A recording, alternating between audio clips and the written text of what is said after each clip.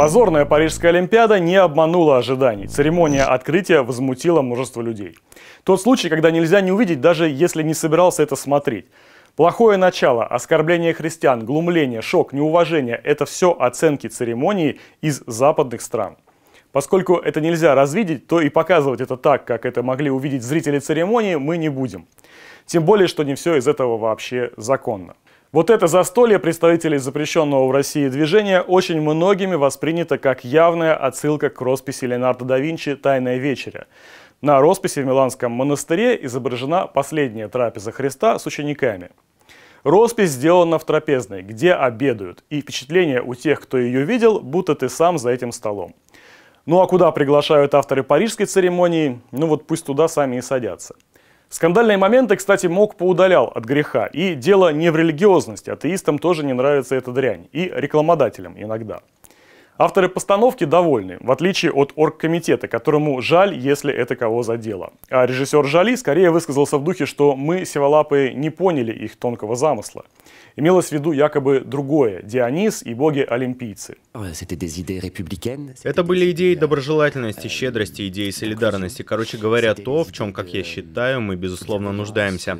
Во Франции мы имеем право любить друг друга так, как мы хотим и с кем хотим. Во Франции мы имеем право верить или не верить у нас много прав, вот и все. И это была идея продемонстрировать эти ценности через церемонию.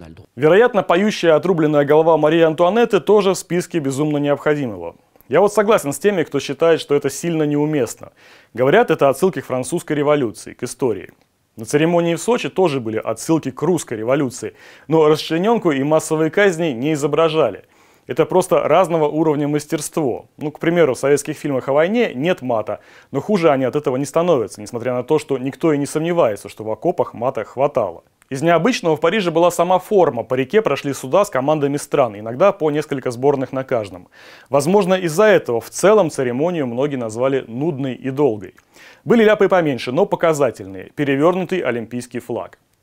Самые распространенные толкования перевернутого флага – это поражение и позор. Хотя чаще это случается просто по ошибке, без символизма. А тут оба два – олимпийский крах. Южную Корею с Северной перепутали дикторы, хотя спортсмены из двух государств даже не рядом были. Южане, которых назвали сборной КНДР, возмутились и потребовали разобраться. Глава МОК уже извинился перед их президентом. Ну и помимо прочего шел сильный дождь. Хотя, что ж удивительного, ну, дождь в июле, это же не Сахара, вполне ожидаемо. Не обманули ожидания те самые приторные комментаторы, которым все божья роса. Дмитрий Губерниев в своем телеграме назвал церемонию «хорошей» и ловит на почти каждый новый пост честно заработанные тонны ненависти.